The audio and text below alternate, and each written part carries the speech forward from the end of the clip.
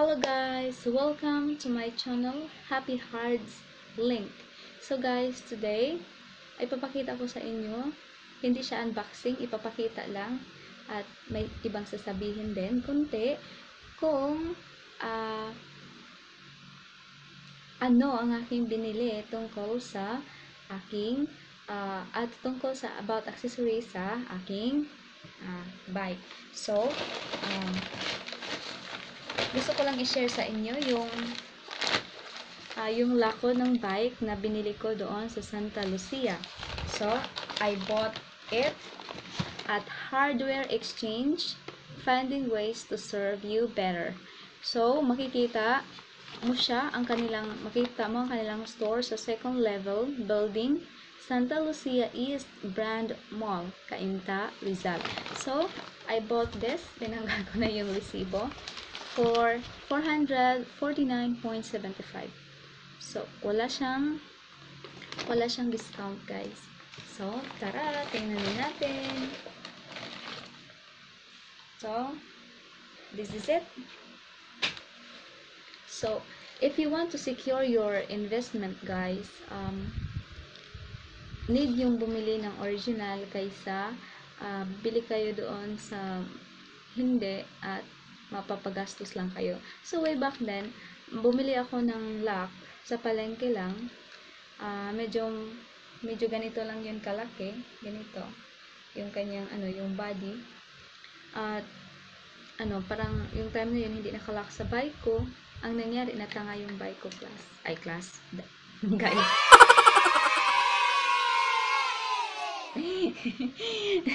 so, ito na yun. Teka lang. Gapitin natin yung kanyang nakalagay. Ang nakalagay pala dito ay Moto Gear mm, Premium Cable Lock made of quality thick cable which aids in securing bikes, securing spare tires, securing double bar doors, and cyclone wire gates. Then, securing your luggage with lock to a post. At doon pala guys, doon pala. Yung ganito guys, yung ganitong lock, total matanggal, teka lang. Yung ganitong lock, ay ano siya, may iba't iba siyang klase. So, yung unang natingnan ko doon ay ano siya, hindi siya siya gaanong kalaki, hindi siya ganito kalaki. Uh, medyo maliit dito yung kanyang wire. Uh, 0.65 m or 2.13 feet times 12 mm lang po yun. So, yun ang small. Ang, ang price niya ay 299.75. And this one, ito yung kasunod, 1.30 m or meter equivalent to 4.26 feet and then 15 millimeter. Ito po yung medium. Ito yung medium.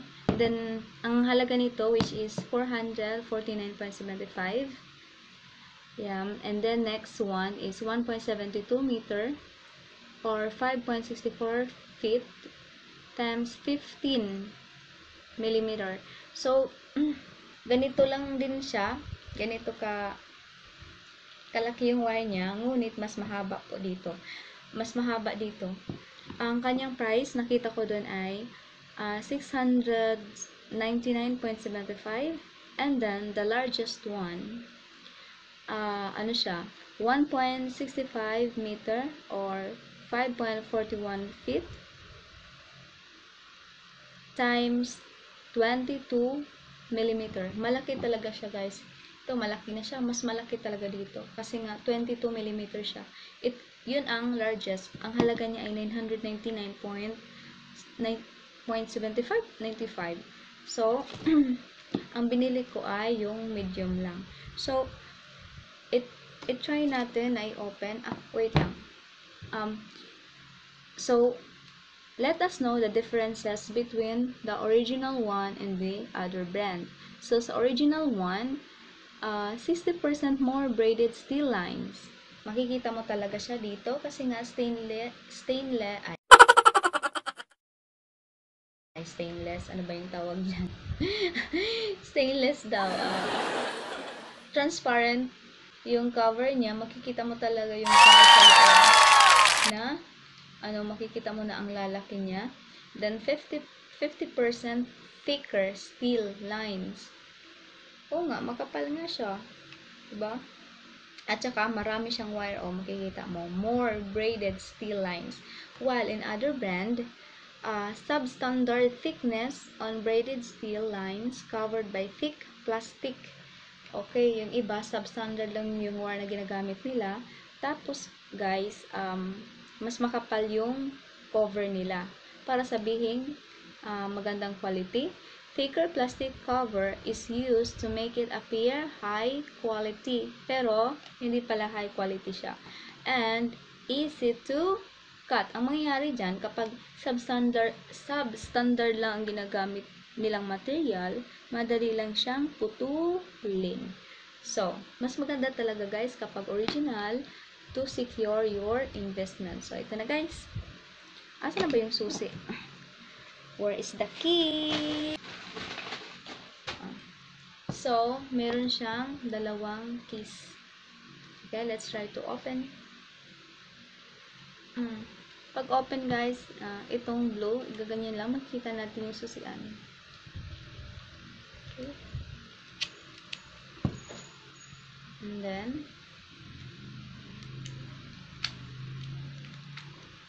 oh, yan. Pag inano mo yung susian guys, maglo-loose lang siya, oh. Um, ito, mahaba siya. Yung nabili ko sa palengke, napakaiksi ng ganito niya. Napakaiksi, ganyan lang siguro yun, oh. Kaya madaling pshum, hilain. Um, tingnan nyo guys, ha. From here, charang. Diba? Ay, ito pa may naiiwan, charang. From here, jing, jing, jing, jing, jing, jing. Mm. Siya ito. Diba? Medyo mahaba na siya. Mm, 4.25 ay 26 okay? So ibabalik natin. Mm. pag nag tum, pag nag-click na siya guys hindi mo na siya ma ano, hindi na siya matatanggal. I-try natin. Ikot natin papunta doon. Ikot natin papunta dito. Tapos, ay, ay, ay, ay. Lain natin. Hindi na siya, hindi na siya. So, matibay talaga siya.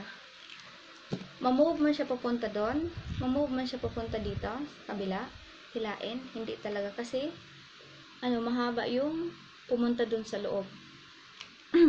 yung luma ko kasi, hindi. So, ito yung susi niya. Well, well, gamitin natin yung ibang susi kasi nga yung peke kong nabili sa palengke ay magagamitan ng kahit anong susi. So, i-try natin to. Hindi siya magkasya. Hindi rin ibang susi, ibang susi. Kasi yung, ano, yung nabili ko sa palengke, magagamitan siya kahit anong susi, napubuksan siya. Peke talaga. This one. Hindi rin. How about another, another one? Ito.